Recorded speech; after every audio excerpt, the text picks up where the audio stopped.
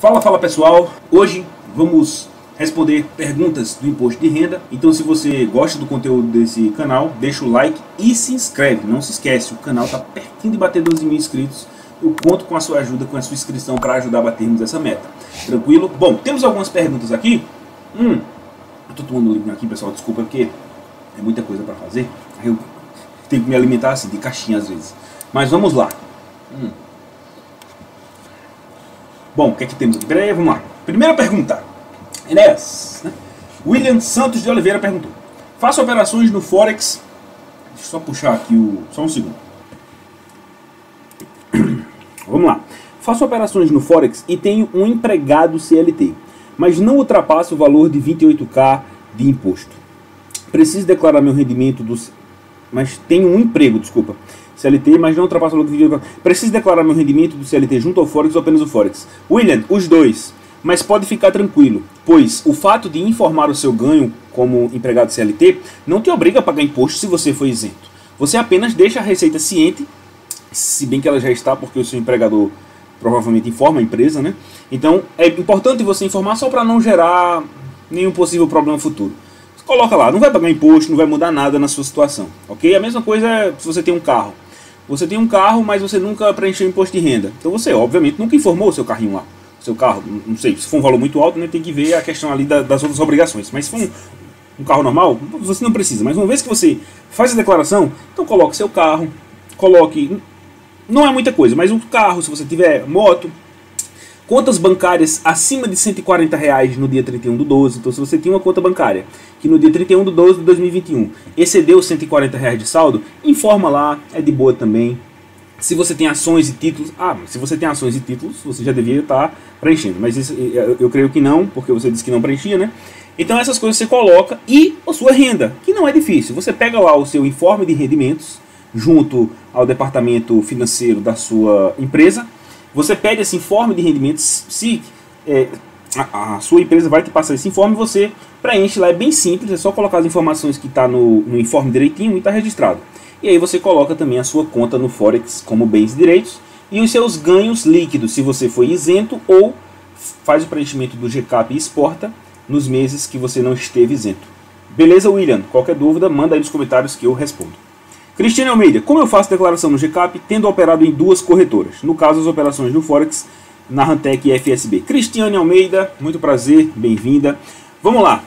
O que você precisa registrar no GCAP é se você primeiro não estiver isenta. É, eu sempre falo isso, pois uma vez isento num determinado mês, você não precisa preencher o GCAP naquele mês. E se você foi isento o ano inteiro, você não precisa pensar em GCAP.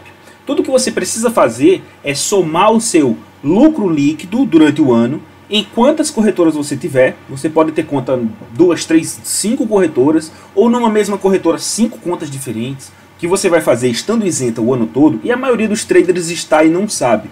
Então eu tenho um vídeo aqui que eu deixo na descrição para te ensinando como verificar com uma planilha que te auxilia nesse processo se está isento ou não. Estando isento, você só precisa, na, na declaração desse ano de 2022, informar o seu ganho líquido no ano anterior de 2021. Então pega todas as corretoras, contas, trades que você fez em 2021, abate os prejuízos, porque nesse caso de isenção é permitido abater os prejuízos, até porque não faz diferença, você não vai pagar imposto. Então você pega o seu ganho líquido e informa em rendimentos isentos e não tributáveis na declaração anual. Deixa eu só ver se eu estou aparecendo direitinho aqui.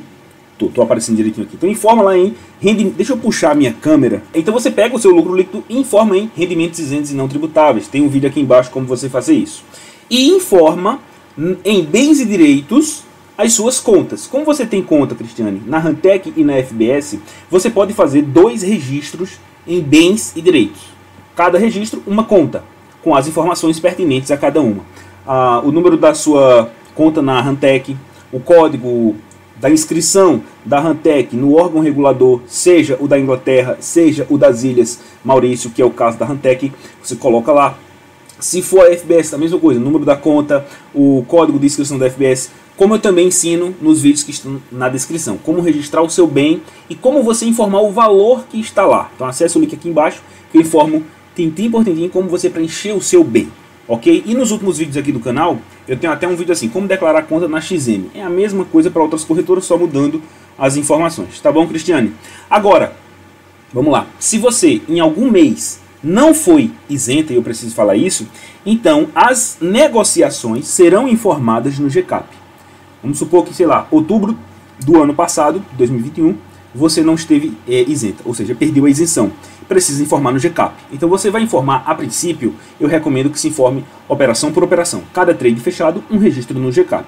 Se for muitas operações, é que você pode assistir o meu vídeo aqui embaixo também, ver como tem vídeo educativo aí, para você fazer um registro só no GCAP. Mas é preciso fazer pelo menos uma vez por mês os, os, o registro no GCAP. E você faz dessa forma, na hora que você coloca o trade lá, na descrição você informa operação com CFD no ativo tal na corretora tal. E aí é, é só isso. Porque como é por trade, então cada trade você faz uma informação. Agora, se você adotar a prática de é, a estratégia, a adaptação que eu fiz e divulgo aqui, de um registro por mês, então você pode condensar todas as suas operações nas suas duas corretoras naquele mês e informar, como eu também ensino aqui no, nos vídeos abaixo, um único registro no GCAP colocando o valor total. Então na descrição você coloca operações, no exterior, operações em CFDs no exterior, corretora Rantec e FBS. E coloca o, o geral como eu ensino. Tá bom, Cristiane? Próximo.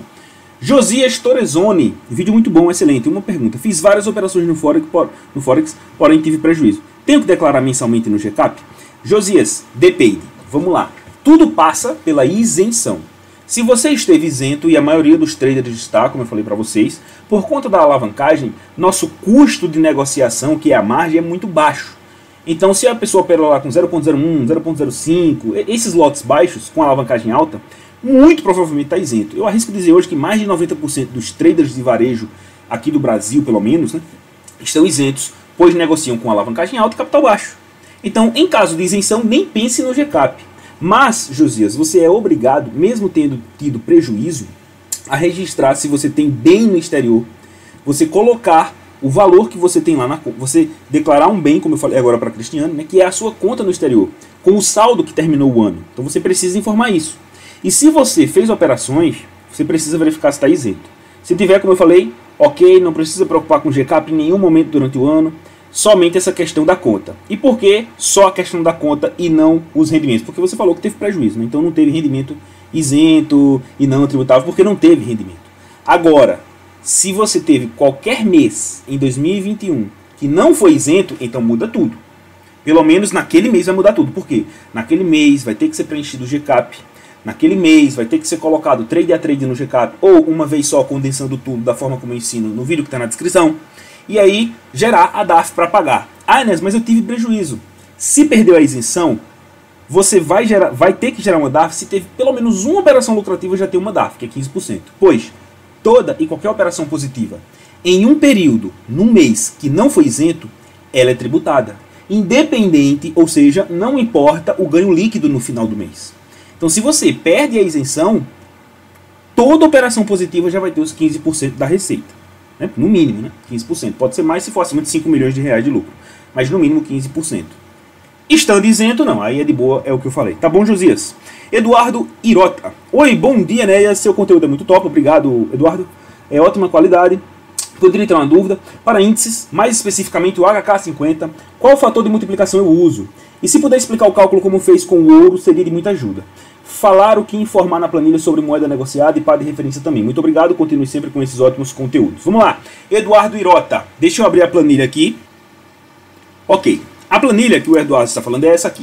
Eduardo, vê só, para ouro eu vou te mostrar como fazer aqui. Agora, para HK50, após atender algumas consultorias de imposto de renda do pessoal que opera HK50, eu tive que fazer o estudo do índice e mostrar para o, o pessoal que eu, que eu atendo como fazer o cálculo. E eu descobri, depois desses, desses atendimentos, que não dá para usar essa planilha para HK50.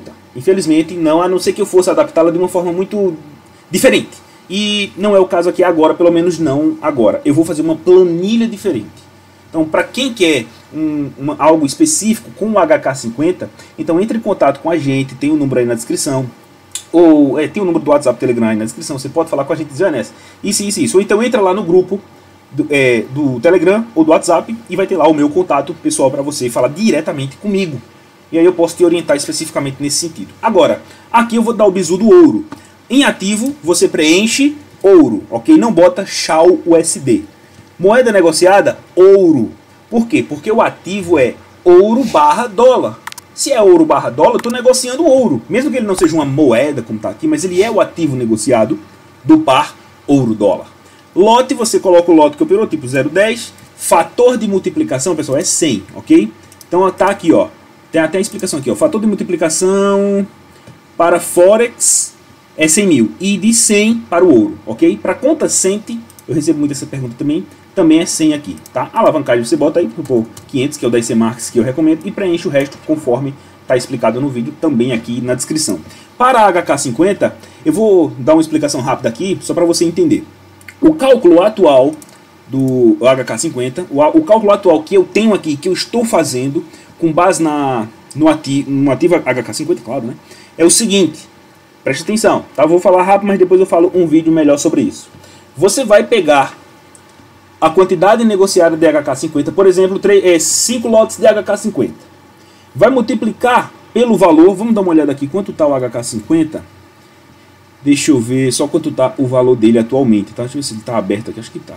HK50. Hoje ele está valendo 22.550. Então, se eu operasse agora, seriam 5 lotes de 22.550. Isso aqui é o valor da multiplicação da quantidade negociada vezes os pontos do índice. Este valor você vai multiplicar por 0,32. Enéas, por que 0,32?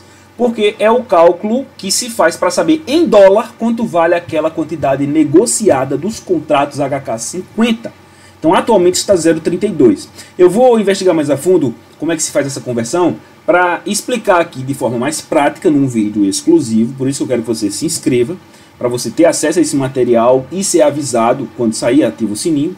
E aí eu vou explicar como chegar a esse valor 0,32 de acordo com a cotação do dólar e do índice HK50. Então atualmente está 0,32. Nesse caso, se eu operar hoje 5 contratos, é, lote 5.0 de HK50, o valor deste contrato é 36.080 dólares.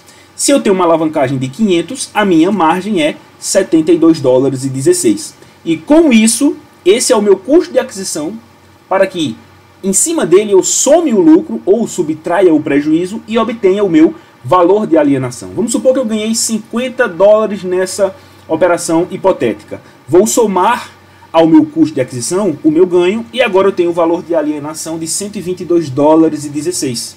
Digamos a cotação do dólar hoje, pelo que a última vez que eu vi, estava 4,60 alguma coisa. Eita, botei errado aqui estava 4,60 por aí. Então, isso dá R$ 561,93. É este valor que eu vou somar com os outros, através desse mesmo cálculo, para saber se eu ultrapassei ou não 35 mil. Não ultrapassei, estou de boa, estou isento. Ultrapassei, então não, não estou isento, preciso gerar DAF em cima das minhas operações positivas, ok? Então voltando aqui para as perguntas, ó, espero ter ajudado aí, tá, Eduardo? Qualquer dúvida, entre em contato aqui também ou deixe outro comentário. Eu posso te ajudar. Thomas, Thomas novamente aqui perguntando, sempre bastante interessado, agradeço aí a presença, Thomas. Enéas, quer dizer que nesse ano não se declara mais com código 62, depósito, depósito bancário contra corrente exterior? Houve uma mudança na legislação? Obrigado. Não houve mudança, pelo menos pelo que eu vi aqui, Thomas, em relação a isso. Apenas um ajuste, talvez mais algumas opções que a Receita deu. O que é que eu recomendo? Que você faça como está lá no vídeo, investimentos, outros investimentos no exterior, porque depósito em conta corrente no exterior vai estar tá pedindo lá o CNPJ, se for no Brasil, claro, né? Se for em outro, você pode tirar. Também em caixa. Isso não é algo que vai te levar para um problema maior. Isso não vai te dar um problema maior na receita. Por quê? Depósito bancário em conta corrente no exterior se aplica ao caso do Forex, pois apesar mesmo que sua conta na corretora não seja, mesmo que a corretora na qual está sua conta não seja uma instituição bancária, o seu dinheiro vai para uma instituição bancária através da corretora. Então, de certa forma, acaba sendo um depósito conta corrente no exterior. Então você pode colocar isso? Pode. Mas eu acredito que outras aplicações de investimentos no exterior também é, se enquadram melhor porque é um, um ramo que ainda no Brasil não tem uma legislação amarrada. E ainda que venha essa legislação, vai ser aplicada mais aqui no Brasil se algum dia o Forex estiver mais estiver totalmente liberado aqui, com as corretoras daqui e não no exterior. Então, aplicações de investimentos no exterior se enquadra bem.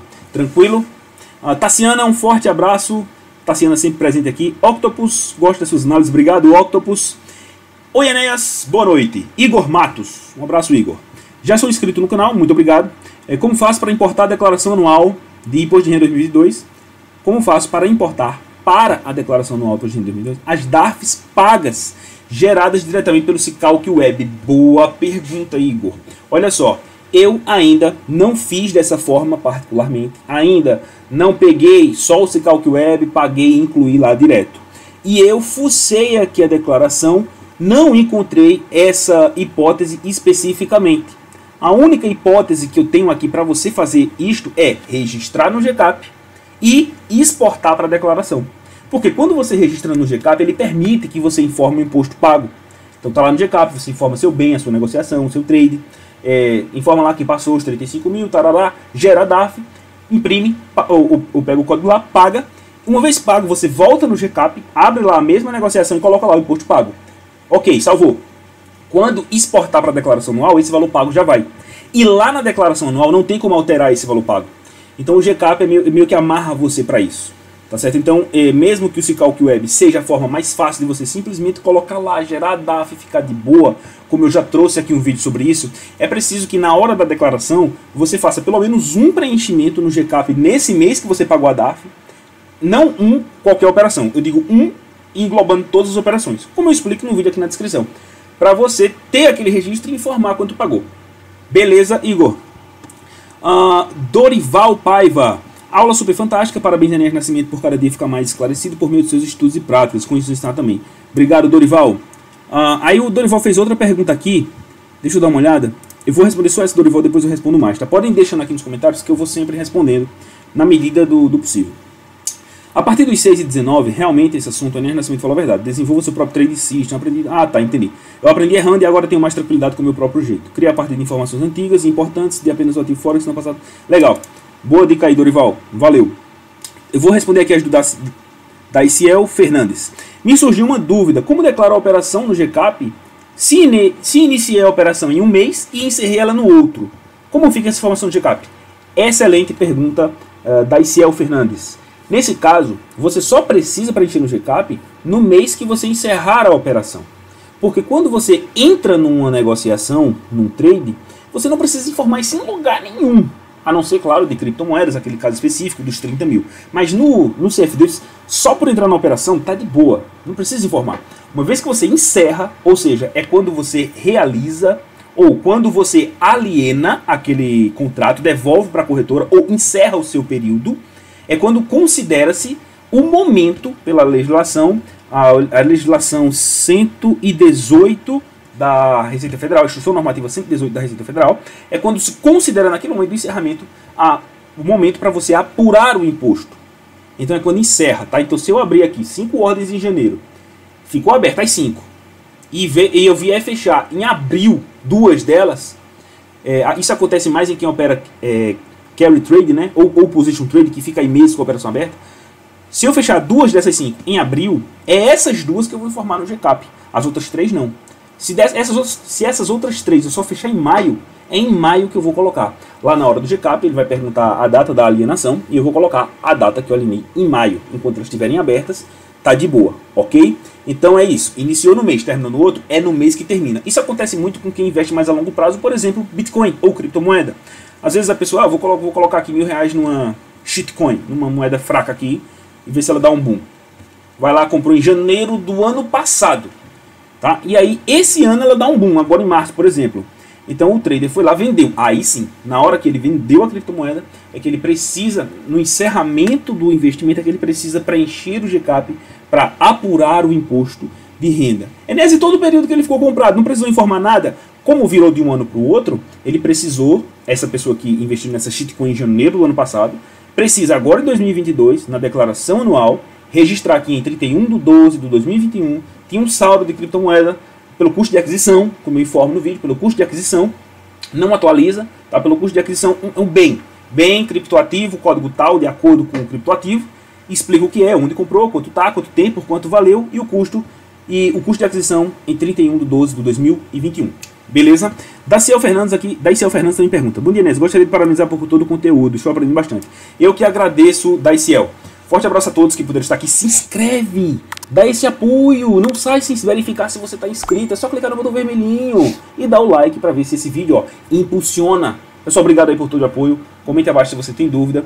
Quem quiser um atendimento mais específico ao seu caso do imposto de renda, eu tenho, temos aqui este serviço para poder te ajudar neste meio. Então, algumas pessoas estão precisando, estão vindo tirar dúvida comigo, eu estou sempre à disposição. Agora, se você quiser uma orientação mais específica para o seu caso, onde a gente possa ficar aí algumas horas estudando o seu caso e eu te explicando para que a partir de agora você faça sempre da mesma forma, adequadamente, então entre em contato aí conosco, o número está aí na descrição, tem o grupo também que você pode falar comigo.